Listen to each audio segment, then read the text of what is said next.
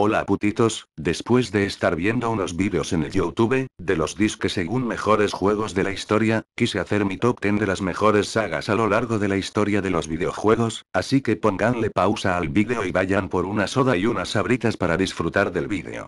Bueno empecemos. En el número 10 tenemos a Pro Evolution Soccer, es un juego de fútbol como todos saben, a mi parecer es mejor que FIFA por eso lo pongo en el número 10. En el número 9 está Crash Bandicoot, ¿a quien no le gusta Crash Bandicoot? Es un gran juego para el PS1, a mi parecer el que más me gustó fue el de carreras, recuerdo cuando me reunía con mis amigos para jugarlo era muy divertido. En el número 8 se encuentra Devil May Cry, es un juego de acción y suspenso en donde manejaremos a Dante, ¿quién es Dante?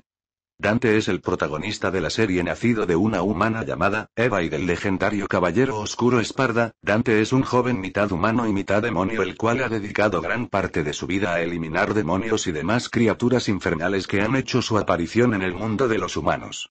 En el número 7 está Silent Hill. Silent Hill es un juego de survival horror producida por Konami, y trata de un misterioso pueblo del mismo nombre. En este juego nos enfrentaremos a monstruos y demás criaturas infernales, aquí se pondrá a prueba nuestra inteligencia, ya que tenemos que resolver acertijos y problemas que el juego nos pone.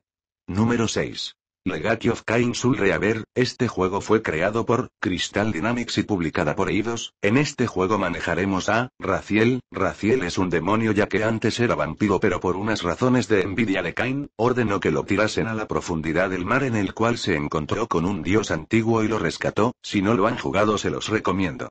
Número 5. God of War. God of War es un juego de acción y aventura, desarrollado por SCEA y distribuido por Sony Computer Entertainment en el 2005 para el PlayStation 2. El juego narra las aventuras de Kratos, un general espartano el cual vendió su alma a Ares dios de la guerra, en el primer juego al final Kratos derrota a Ares y se convierte en el nuevo dios de la guerra, está muy bueno el juego, también se los recomiendo.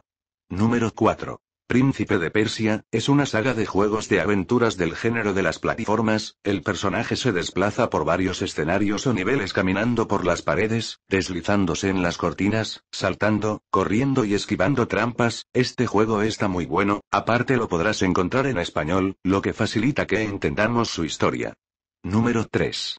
Resident Evil, como no poner Resident Evil en un top de videojuegos, ya que tiene varios juegos en el mercado, este también es un género de survival horror, en donde nos encontraremos con acertijos y obstáculos que nos pone el juego, a mi parecer el que más me gustó fue el de Resident Evil 3, el 4 también está muy bueno, pero para mí que perdió un poco el suspenso y el terror, y pasó a ser más de primer shooter, el 5 no lo he jugado.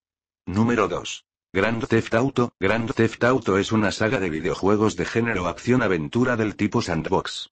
Originalmente fue creada por Dma Design, que posteriormente se llamó Rockstar North, de la compañía Rockstar Games.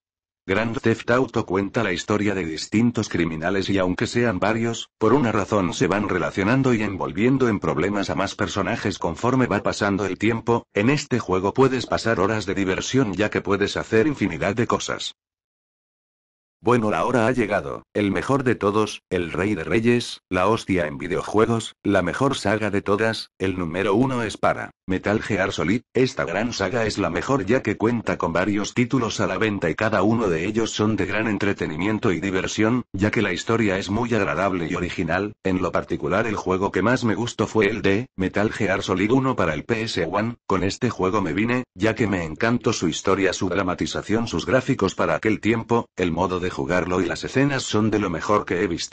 Bueno, sé que esta lista no va a ser de agrado a los demás ya que cada quien tiene sus propios top 10, y tienen pensamientos diferentes a los míos, bueno con esto me despido, les mando un saludo a todos mis amigos, a los que me critican, a los que se suscriben a mi canal y a los que no, a los que me califican con una estrella, a los que me califican con cinco estrellas, a todos les mando un saludo, hasta luego culeros.